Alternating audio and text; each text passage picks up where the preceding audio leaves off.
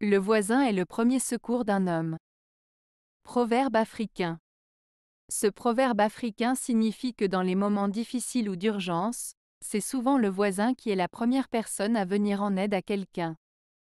Il souligne l'importance de la solidarité et de l'entraide entre voisins, mettant en avant l'idée que la proximité géographique peut favoriser des relations de soutien mutuel.